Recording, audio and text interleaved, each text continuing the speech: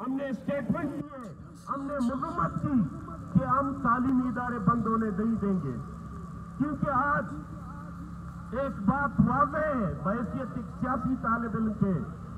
آج ریکو دیکھ ریکو دیکھ ہو رہا ہے، جو کہ ریکو دیکھ دنیا کی تیسری بڑی وسائل کی ذخائر ہے۔ لیکن مجھے، آپ کے لیے ایک یونیورسٹی سے دس ریکو دیکھ سے زیادہ پیارا ہے۔ کیونکہ ایک یونیورسٹی آپ کی زندگی کو، آپ کی مستقبل کو بنا دیتی ہے۔ تو میں سمجھتا ہوں کہ ہماری جو ریسورسز ہیں، وہ ہمارے لیے جب خرچ نہیں ہوگا، ہمارے لیے جب بنیادی چیزیں، سہولتیں، وہ مہیا نہیں ہوں گے ٹیکنیکل ادارے نہیں بنیں گے، تعلیمی ادارے نہیں بنیں گے، یونیورسٹیاں نہیں بنیں گی، تو یہ وسائل میرے کس کام کی ہوگی؟ یہی ہوگا۔ کہ ہمیں جاہل بے تعلیم کہا جائے گا اور ہماری وسائل کو لوٹا جائے گا۔ میں آج میڈیا کو یہی کہنا چاہ رہا ہوں کہ اس ملک میں اور اس موجودہ دور میں تعلیم مانگنا گناہ ہوا ہے، منشیات فروشی جائز ہوا ہے۔ آج تعلیم یافتہ لوگوں سے یہ حکومت ڈرتی ہے آج جگ مافیا کو اپنا وزیر بنا دیتا ہے۔ آج آج سیاسی ورکر سے یہ حکومت کھوتا ہے۔ آج سیاسی فوٹ کو سوداگروں کو سلیکٹ کر کے لاتا ہے۔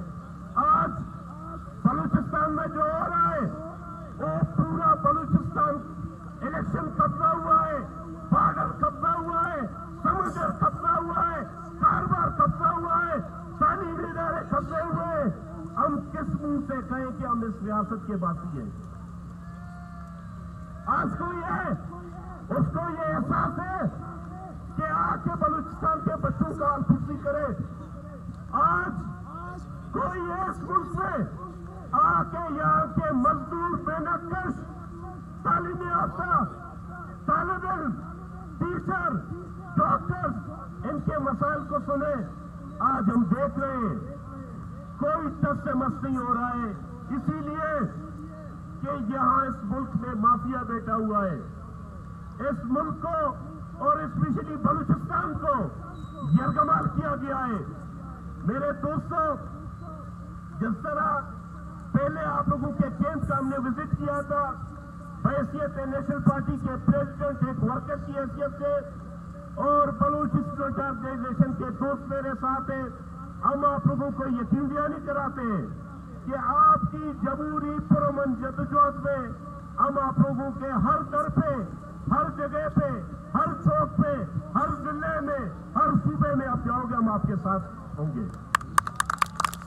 اور ہم اس بات کو قطعی طور پر ایکسپٹ نہیں کریں گے کہ یہ اسپیشل ایگزام یہ ایک سازش ہے۔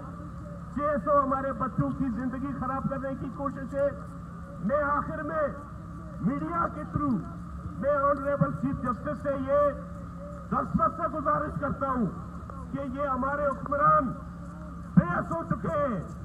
ان کو کوئی اختیارات نہیں ہے۔ ان کو صرف کرپشن لوٹ لوٹ کسوٹ اور اپنے تنخواہ لینے کی اختیار ہے۔ آپ سے گزارش ہے کہ سو موٹو ایکشن لے کر ٹی جو کہ خود غیر قانونی طور پر اس ملک میں وجود میں لایا گیا ہے۔ بہتر سالوں میں پاکستان میڈیکل ڈینٹل کونسل کو ختم کر کے، تمام رولز کو ختم کر کے اس کو یہاں پہ لوگوں پہ مسلط کیا گیا ہے۔ اس کے فیصلے کو قلدم قرار دے تاکہ ہمارے یہ بچے روڈوں سے اٹھے، اپنے تعلیمی اداروں میں جا کر تعلیم حاصل کرے۔ اور اس غیر یقینی کیفیت سے نکل جائے۔ لیکن افسوس کہ یہاں کے لوگوں کو جو ذمہ دار ہیں، ان کو آج احساس نہیں ہے، آپ لوگوں کے حکمران بیس ہو چکے ہیں۔ ہم نیکسٹ آپ لوگوں کے لائے عمل کا انتظار کریں گے۔ ہم سیاسی حوالے سے آپ لوگوں کے جدوجہد میں آپ کے شانہ بشانہ ہے۔ شکریہ۔